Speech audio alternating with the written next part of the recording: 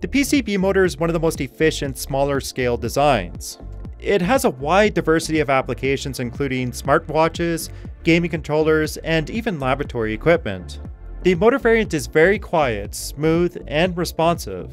But on top of that, they are also lighter and slimmer when compared to a traditional radial motor. This is because it utilizes an axial flux design, and it allows the magnetic flux to travel parallel to the axis of rotation. We have already seen a couple of infamous axial flux motors that have very high power density.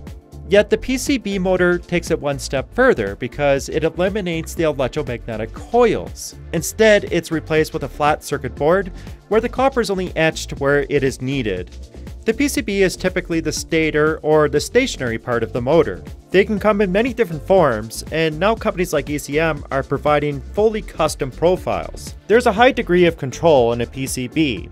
When the current is switched on to these etchings, it turns them into electromagnets. The rotating part, the rotor, contains permanent magnets and interacts with the magnetic field.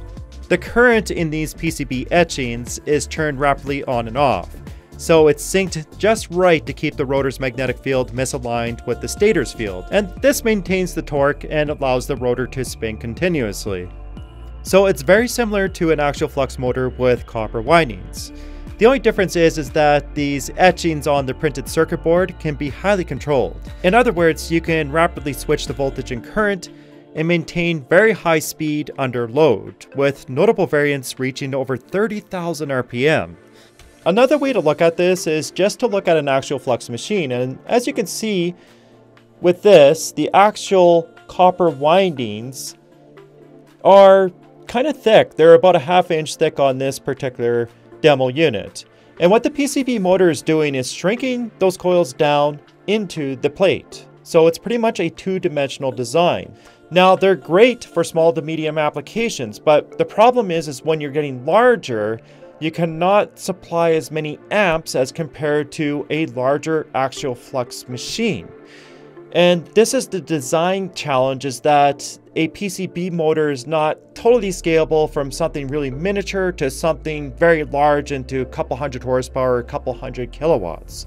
Now another thing to keep in mind is that a PCB will require high temperature laminates, and there could be multiple laminations or multiple layers stacked together to handle these higher currents.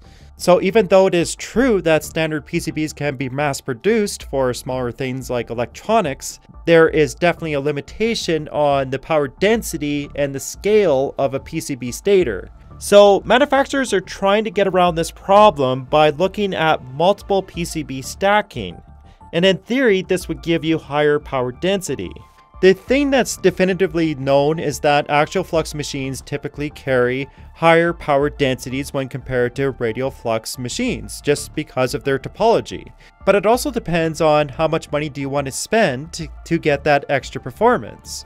Because as of right now, an axial flux coppered motor usually depends on an extremely small air gap between the stator and rotor, and this usually means that there can be bowing or deformation that can completely obliterate the design. Not to mention that the stator windings are very complex to make as of right now. And that's the question of the future. Can the PCB stator displace some of the axial flux machines out there because maybe it can be produced at a cheaper cost?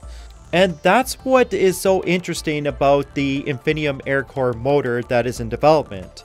It can be incorporated into larger horsepower applications like HVACs, pumps, possibly even electric vehicles. They are working on a motor that can possibly output at a continuous 150 kilowatts at 20 kilograms. That roughly equates to 200 horsepower at 44 pounds. And they're also stating that this motor is modular, so you can stack motors together to scale the torque or power if needed.